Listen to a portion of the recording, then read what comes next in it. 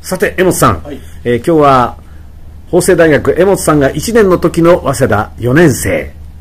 で完全試合も達成されています元ロッテの監督八木沢総六さんです。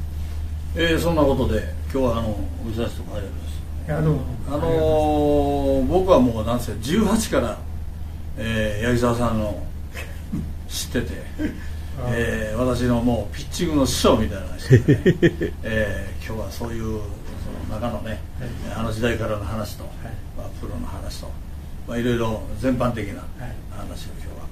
これは作新学院の皆さんあの知ってます？作新学院にはまだ江川というやつがいたんですよ、ええ。まあ、江川の話は今日出るかどうかは別としても、はい。